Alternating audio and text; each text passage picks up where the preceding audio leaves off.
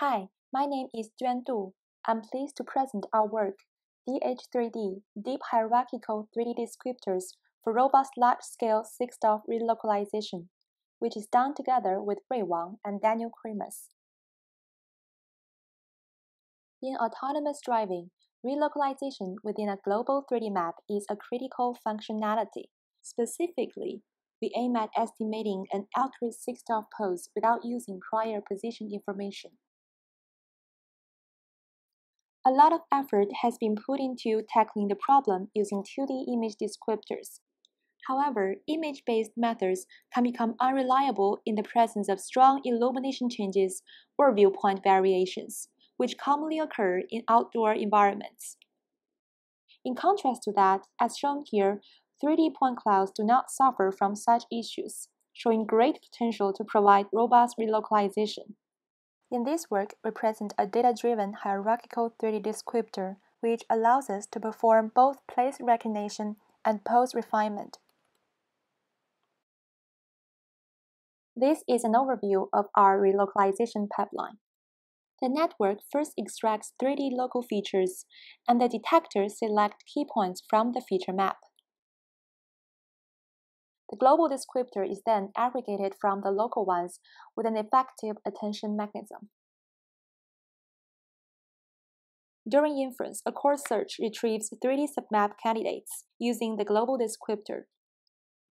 Then the refined 6-DoF pose is obtained by matching the local features. To emphasize the key concept of our method, note that our global descriptor assembler is designed to reuse the extracted local features. The idea behind is that both local and global descriptors depend on the same low-level geometric information. In this way, the assembler can take advantage of the informative local features and produce more discriminative global ones. Also, local and global descriptors can be inferred in one single forward pass, which brings runtime benefits in practical applications. Next, we will explain the architecture of each module following the workflow. The local descriptor encoder takes point clouds as input and outputs the pointwise local descriptors.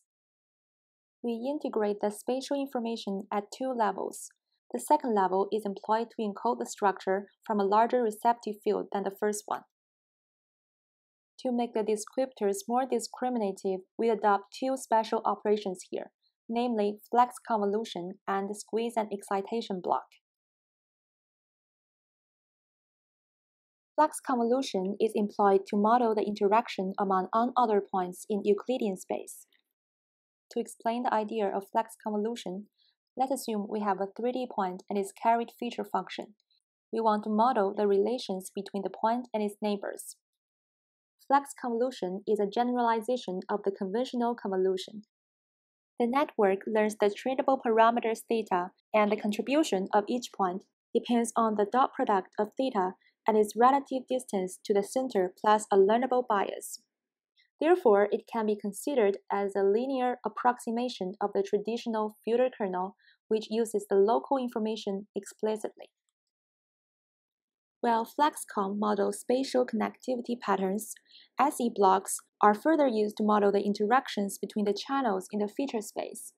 More specifically, for n unordered points with a length of their feature as c, the squeeze operation first uses a global average pooling to aggregate the input across spatial dimensions.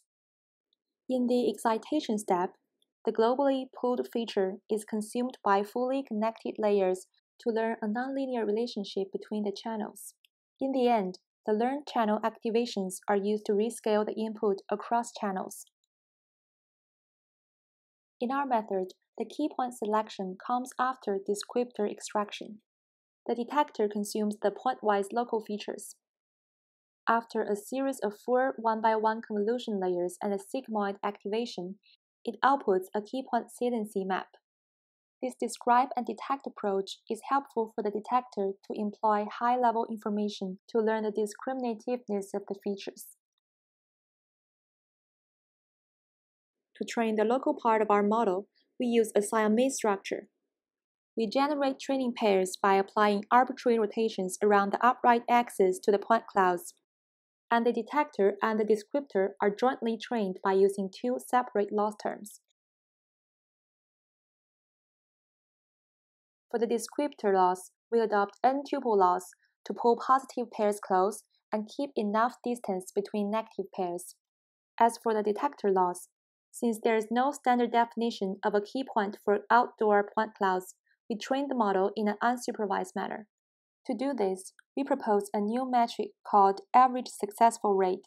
The value of AR is computed to reflect the quality of descriptor matching. And the detection loss is formulated as shown here, where kappa is a hyperparameter indicating the minimum expected AR per key point. To minimize the detector loss, the network should predict the score to be close to zero if AR is less than kappa, and to be near to 1 conversely. As mentioned before, we propose to reuse the local descriptors for global feature assembling. For this purpose, two FlexConv layers first project the local features to a higher dimension for more retrieval-relevant encoding. The attention predictor takes these features and outputs a per-point attention map, which is followed by a NetVLAD layer to generate a compact global vector. To train the global part of the model, we use the same lazy quadruplet loss as used in PointNetVLAD. Next, we will show some experimental results of our method. We first evaluate our global descriptor for the task of point cloud retrieval. Given a point cloud as a query, we compare its global descriptor against the database.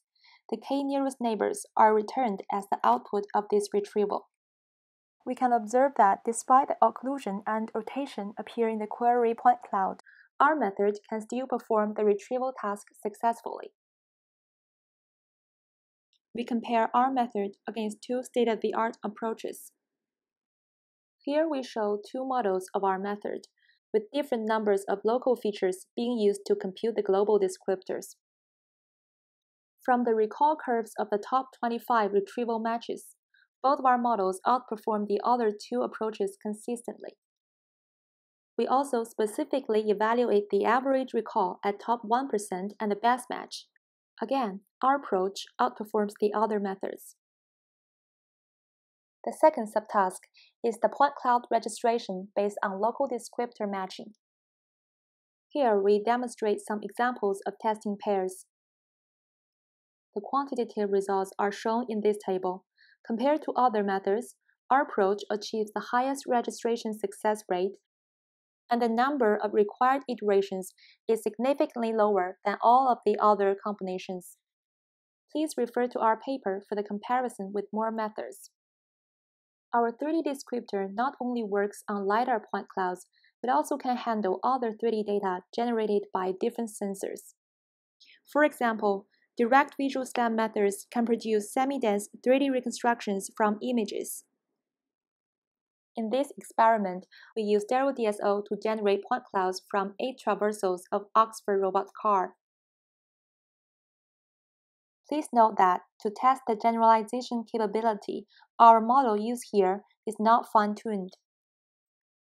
As shown in the table, our approach achieves the best rotation error and success rate and the second best translation error among all the evaluated methods. Moreover, when compared to the results in the previous table, it can be noticed that most methods show significant inferior performances. However, our method is still able to achieve a favorable performance, showing the least degree of degeneracy. Here we show some qualitative results. The testing set covers a wide range of daytime, including night, dawn, and noon. The sequences also cover changes of weather, season, and varying scene layout caused by construction. As can be seen from the figures, the produced 3D reconstructions can provide more stable geometric structures and therefore are less affected by image appearance changes. So, our 3D descriptor can be helpful for loop closure and relocalization for visual SLAM methods. Please visit our project page for code and other materials. Thank you.